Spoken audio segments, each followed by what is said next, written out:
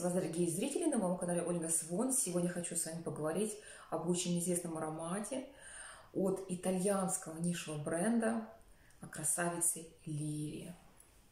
Ну, давайте посмотрим оформление. Какая коробочка, посмотрите, это шкатулка. На подарок будет просто идеально. У меня тридцатка. Я не стала брать 100 милликов, потому что аромат мне понравился, но не настолько, что взять большой флакон.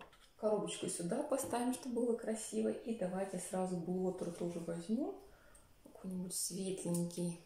Сегодня будет необычный обзор, так как я хотела бы с вами обсудить ассоциации, которые вызывает данный парфюм. Для меня это интереснее, чем сама пирамида, чем сам аромат, потому что он довольно-таки простой.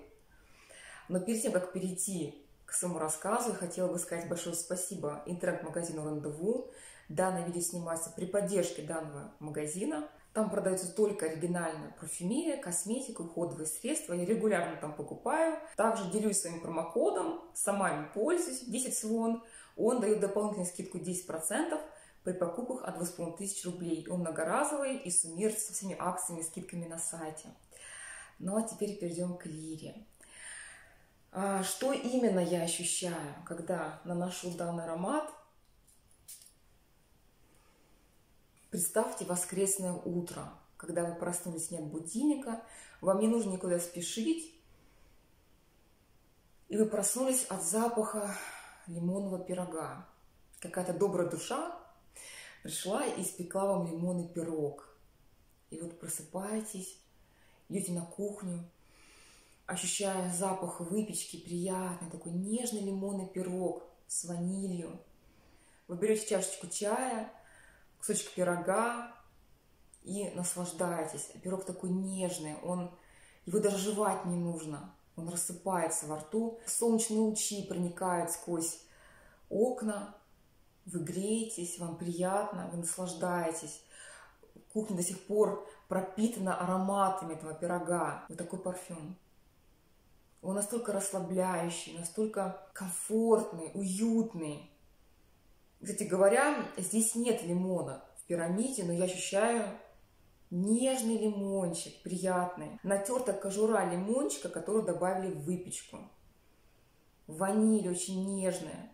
Для меня это самая красивая ваниль вообще среди всех ароматов. Возможно, благодаря карамели, лакричнику, которая тоже есть в пирамиде, на экранах можете видеть.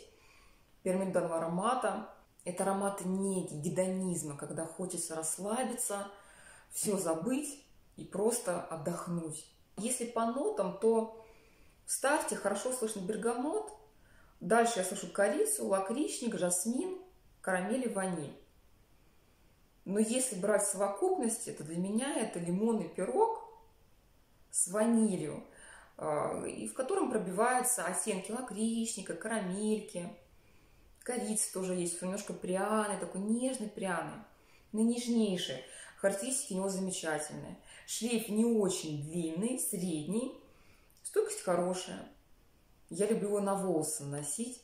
И я прям сажусь и так расслабляюсь. Он замечательный. Девочки, кто не тестировал, познакомьтесь с этой красавицей. Это не суперсложный парфюм, но он прекрасный. Он так вас расслабит. Рекомендую от всей души. На этом все. Спасибо вам за внимание и до скорых встреч. Пока-пока.